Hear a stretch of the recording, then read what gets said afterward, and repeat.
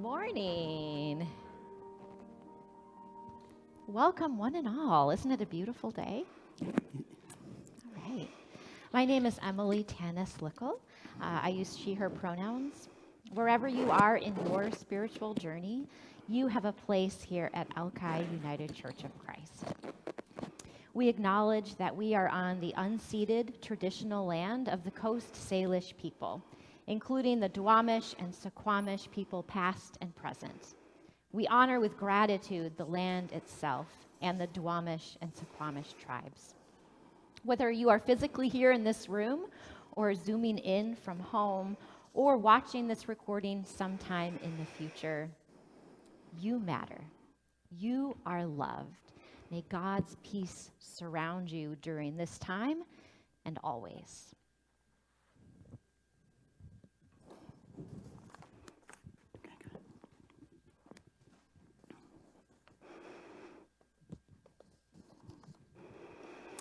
Good morning. I'm Vicki. Nice to see you here this morning. I invite you to stand, if you are able, for the call to worship.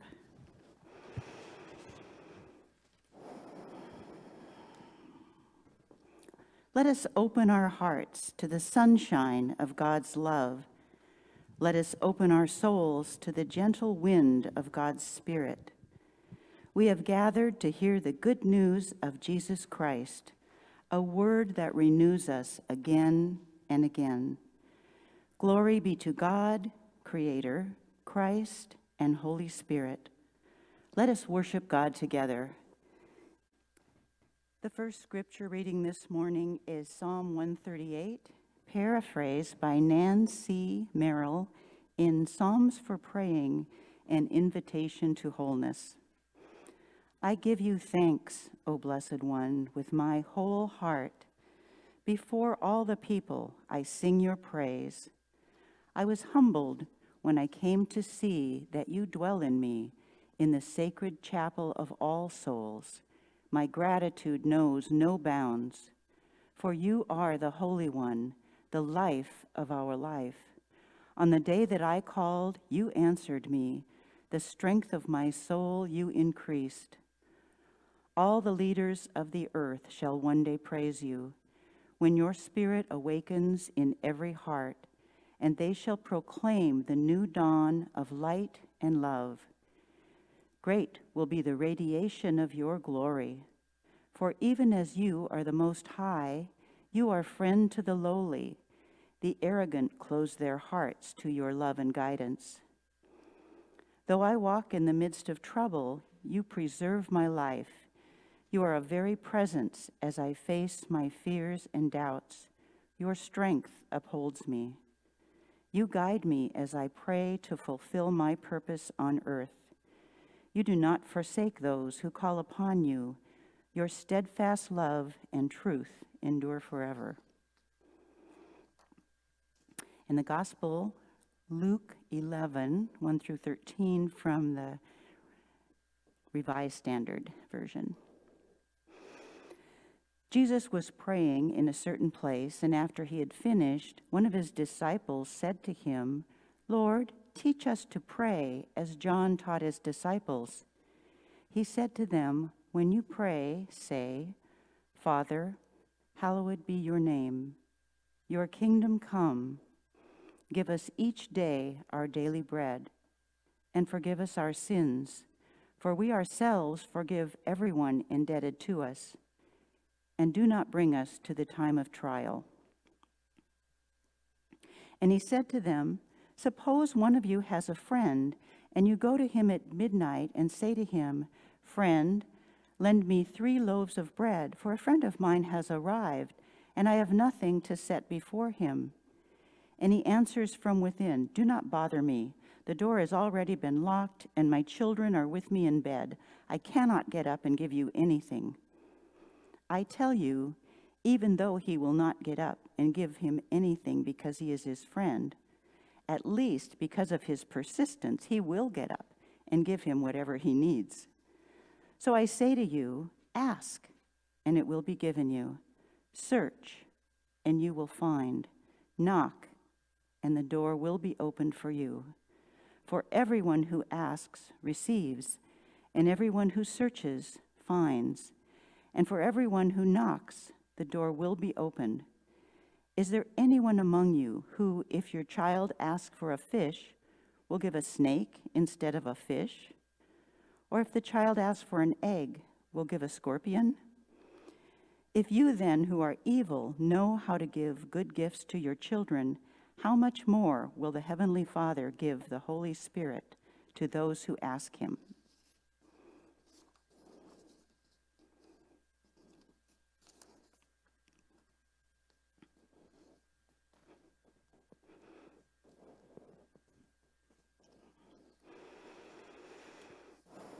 Salt, fat, acid, heat.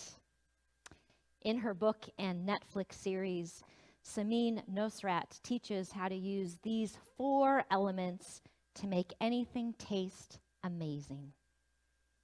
Anybody seen these shows? My spouse Julia has. Okay. well, Samin teaches instinctual cooking based on using the elements with knowledge and common sense. Salt enhances flavor more than any other ingredient. Water prepared for blanching green beans is made salty as the sea. Flake salt says yes to a dish. Fat carries the flavor. Butter and oils coat the tongue, intensifying the experience of eating. And acid, whether a spritz of lemon or some vinegar, it triggers chemical reactions that change the color and texture of food. It balances the flavor. And then heat, well, that's the element of transformation. It is such fun to watch Samin cook. Her passion and fascination with food makes me want to cook. She has spent so much time with those elements, so much time cooking, it's second nature to her.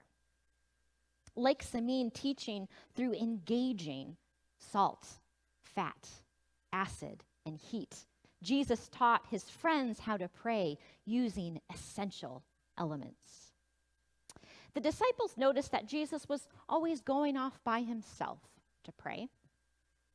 They were curious about his prayer life. And they knew that John the Baptist taught a certain prayer to his disciples.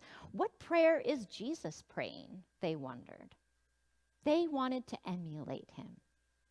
Jesus prayed instinctually. He had spent so much time praying, was so familiar with talking to God, so knowledgeable about what he was doing that it was second nature. They wanted to pray like that and said, Teach us to pray. Luke doesn't share this teaching of Jesus out of the blue. It's actually the third in a trilogy. The first teaching is about a certain lawyer who asked Jesus, Who is my neighbor? In reply, Jesus told the story of the Good Samaritan who stopped and cared for the one who had been robbed and left to die. And the second is the story of what happened in a certain village when Martha and Mary received Jesus in their home and Mary knelt at the feet of Jesus. Today, we read the story in Luke that begins with Jesus praying in a certain place.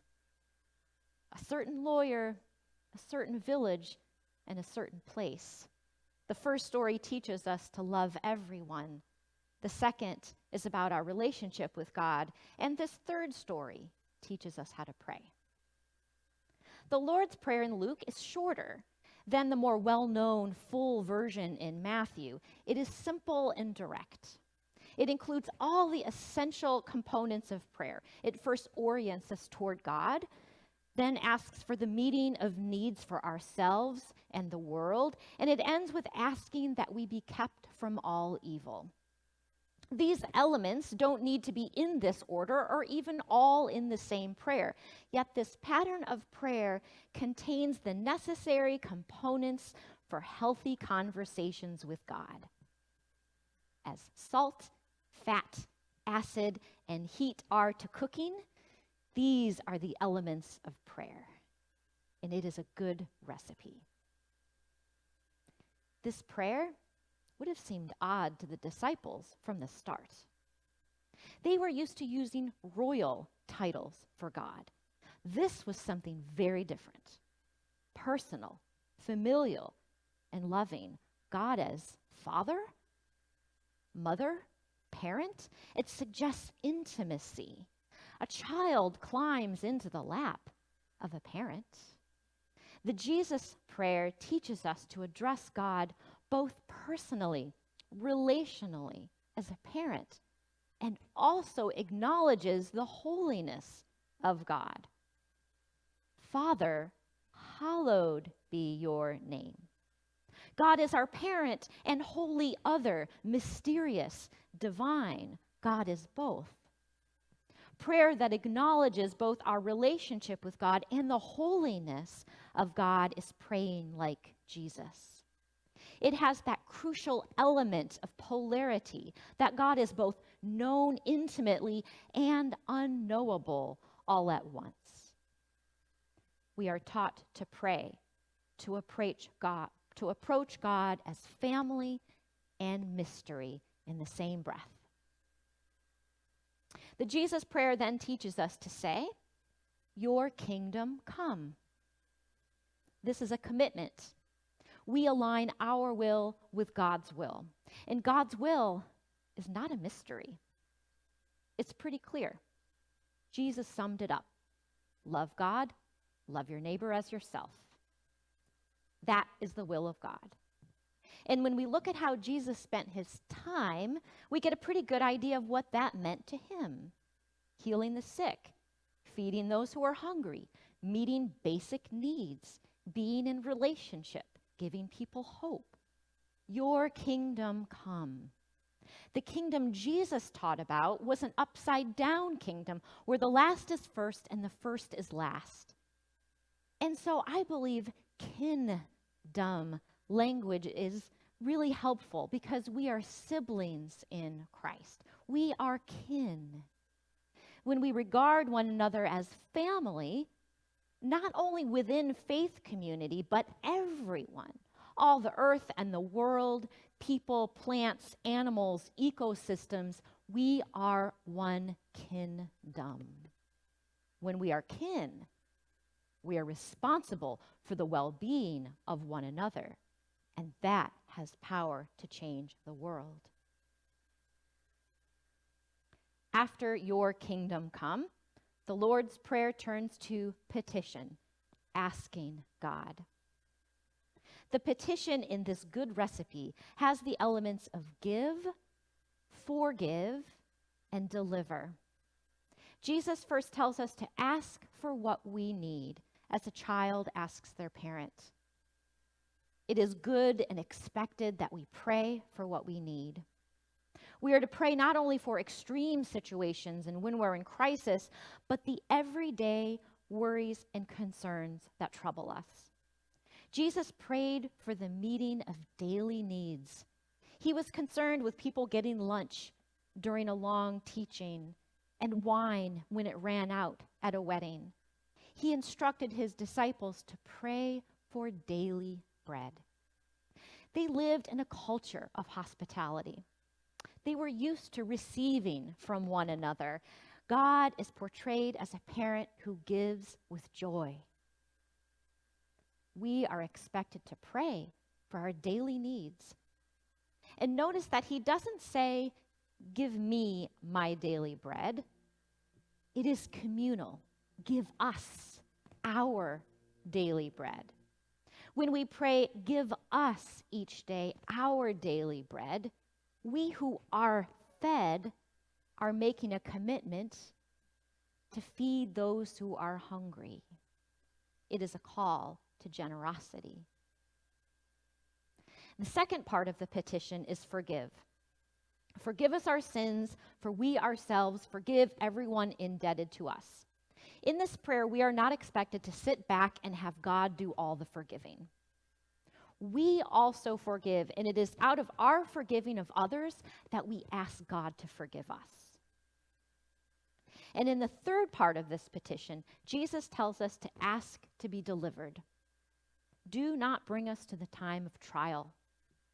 As one theologian explains, the only time God tries us is when there is something in our hearts that needs revealing. In this, way, in this, we pray that nothing is separating us from enjoying a relationship with God.